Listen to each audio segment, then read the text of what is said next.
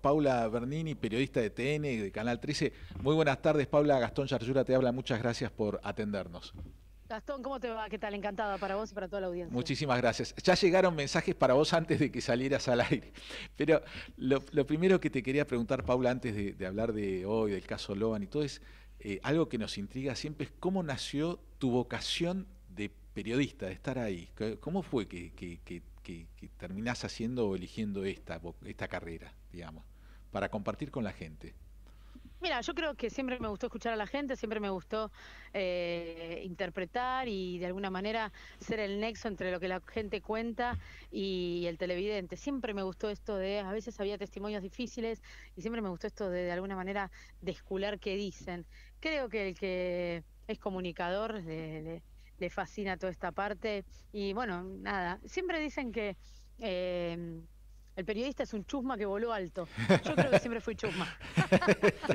un chusma con título. exactamente, exactamente. No tenemos que creernos este, más que otra cosa, ¿no? Pero por supuesto que tenemos una responsabilidad hoy infinita este, cuando estamos transmitiendo, por ejemplo, en este caso, en el caso de Loam, lo que está pasando eh, en la investigación. Entonces tenemos una responsabilidad y tenemos que atarnos a esa responsabilidad. Hablando de, Loan, Paula, eh, vos tuviste, estás en el lugar, todos te seguimos y vamos escuchando lo que pasa y vos estás mucho con el pulso de la gente, te he visto en las manifestaciones espontáneas de la gente también.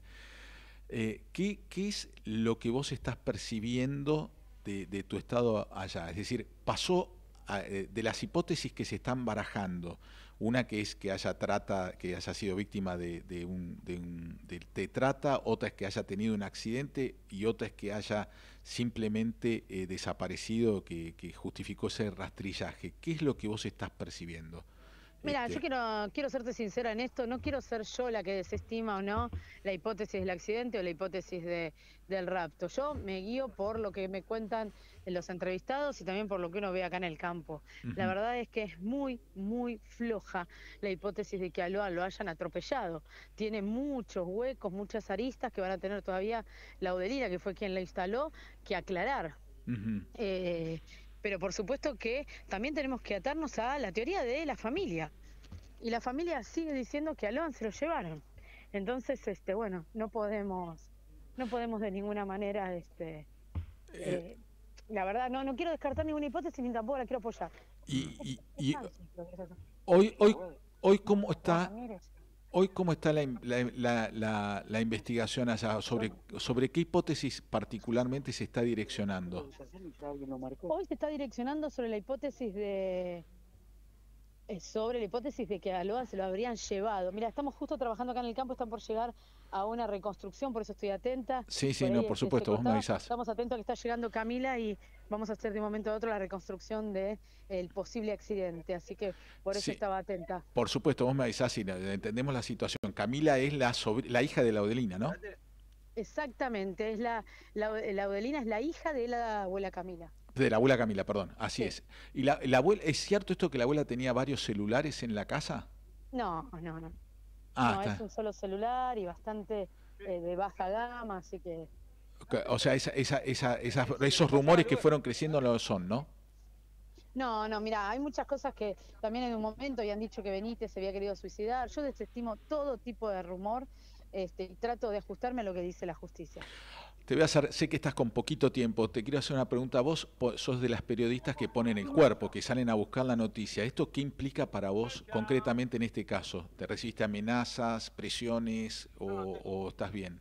No, no, no, no, no. Pude trabajar con libertad, no recibí ningún tipo ni de amenaza ni de presión. La verdad que laburamos todos los periodistas con absoluta libertad y la idea es seguir trabajando así. Eh, por supuesto que siempre está el que se acerca y te quiere de alguna manera imponer su teoría, pero tiene que ver con los abogados que defienden a tal o cual detenido. Pero no, no, no, no recibimos amenazas. O sea, te quieren operar eventualmente. No sé si operar, porque los abogados no quieren operar, sino que lo que quieren hacer es que vos eh, termines creyendo lo que cuenta cada uno de sus defendidos, ya que son la defensa de ellos. Es un libre juego que lo conocemos a la perfección. Entonces, eh, no es operar, sino que vos estés atento a lo que te dice cada uno de los abogados. ¿Trabajás en equipo con otros periodistas, más allá de que no sean de tu medio? ¿Se trabaja un poco en equipo? ¿Comparten información, por ejemplo? Te voy a ser sincera, esto es un trabajo en equipo, no hay acá rivalidad con los otros medios, pero bueno, a la hora de jugar el juego cada uno este, tiene su propio su propia estrategia, ¿no? Eh, pero te digo la verdad, cuando se apagan las cámaras y nos sentamos todos, está todo más que bien. No hay, no hay competitividad. Sí, por supuesto, ¿no?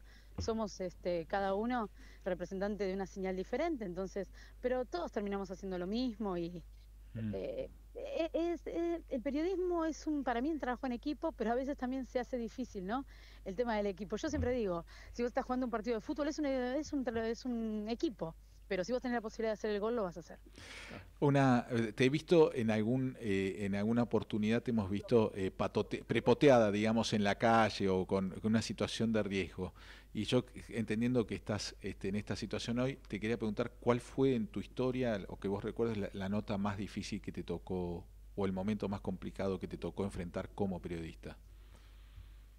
Mm, soy sincera, trato de que cada momento eh, llevarlo de la mejor manera. No sé si me ha tocado así momentos eh, difíciles, eh, sé a qué te referís, me lo preguntan varios con respecto a, esa mujer que vino y me increpó. Son los menos y yo en ese caso trato de ponerles el micrófono, escucharlos porque no soy yo la que tiene que eh, contradecirlos, decirme cuánto sale la leche que toma mi ley. Claro. tengo muy claro eh, mi rol como periodista, yo en ningún momento voy a discutir con nadie ni a eh, poner mi postura sobre la de otros, que muchas veces aparte mi postura no tiene por qué ser la que ellos imaginan, tal vez si me preguntasen este, encuentran una respuesta diferente, pero mm, la verdad es que no, si tengo que hablar de casos que a mí me afectan y tenemos que hablar que uno de estos, el de Loan me afecta, me afectó mucho el caso de Guadalupe en San Luis. Claro. Eh, son esos casos, ¿no? Donde estamos hablando de chiquitos indefensos que desaparece, que la justicia no nos puede dar una explicación. Eh, la verdad que sí, me afecta, no voy a decirte que no. Eh, Paula, ¿cómo estás? Te saluda Martín. Bueno, esto, primero felicitarte por el laburo que estás haciendo, no ahora, sino ya de antes.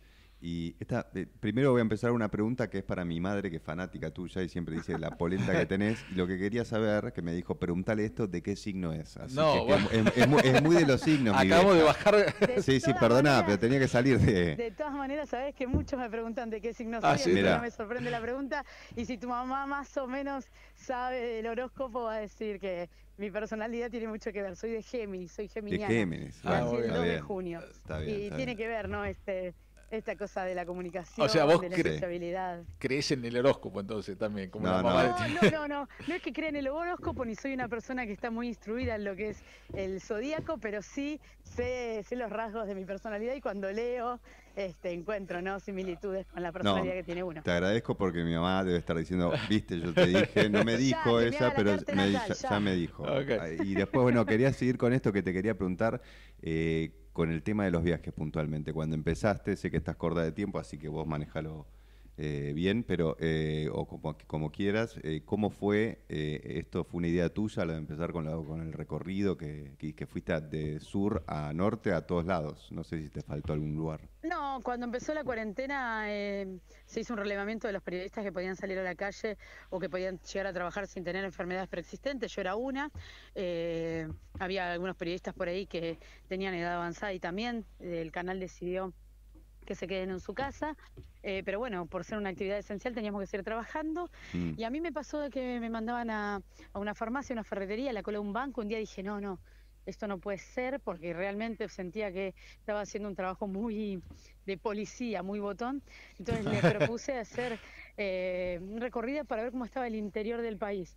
Y la verdad tengo que decir que uno de las personas, Hernán Pereira, que es eh, jefe de móvil, me dijo, vos no puedes estar sin poder ir a un baño en una estación de servicio, sin poder dormir porque no había donde dormir, sin poder ir a comer, me dijo, vos tenés que recorrer el país en motorhome. Vos estás loco, le digo, Hernán.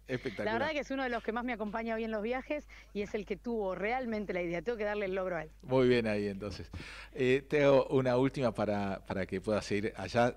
ya desde ya te decimos que estamos todos acompañándote a vos y a la familia, por supuesto, con esto. Y ojalá se pueda resolver bien y ojalá Logan esté bien. Ojalá pero te quería preguntar si vos tenés un modelo o alguien, una aspiración eh, a seguir en tu carrera, alguien que decís, esta, este tipo de periodista me representa, o de, eh, una persona que vos admires así o, lo sigas. Mira, yo, yo voy a decir de que a quién admiro, admiro a mis compañeros de trabajo. Somos seis personas que están todo el tiempo atrás mío, que si hago algo me dicen no hagas esto o haz lo otro. Eh, hoy tengo que decir que admiro a mis compañeros. Eh, por supuesto que tengo muchos periodistas que uno puede haberse eh, educado, ¿no? Yo crecí viendo La Nata o viendo Feynman, todas, todas son posturas antagónicas, pero esto de la calle este amor que tengo yo, yo creo que me lo contagia a mis compañeros, que tienen el mismo compromiso por, por mostrar al aire todo lo que nosotros estamos viviendo o sabiendo, y ellos son los que de verdad me emocionan. El otro día estaba medio sintiéndome mal y estaba tirada en el asiento de atrás de la camioneta y justamente viene este chico, Hernán Pereira, me dice, vamos, eh, vamos, vamos, vamos, vos sos la reina, dale, dale, te levantás y vamos con todo. Y ya me saca una sonrisa y uno se levanta, ¿no? Con la mejor de las ganas. Así que la verdad que tengo que decir que hoy admiro a ellos.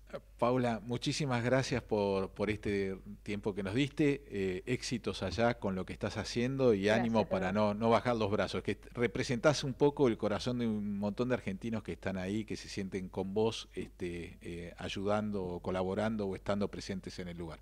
Un Mucha beso. la gente que se acerca y me dice, Paula, ¿cuándo vas a dormir? Y yo cuando me lo pongo a pensar, si tengo un sueño que me muere. Pero la verdad es que si me pongo a pensar lo que estamos cubriendo, 20 días haciendo el esfuerzo de dormir mal o comer mal o descansar eh, salteado, vale la pena porque estamos hablando de un chiquito de 5 años desaparecido. Muchísimas gracias, Paula. un beso grande y saludos a, tu equipo. Gracias. Gracias, gracias, de verdad. Gracias.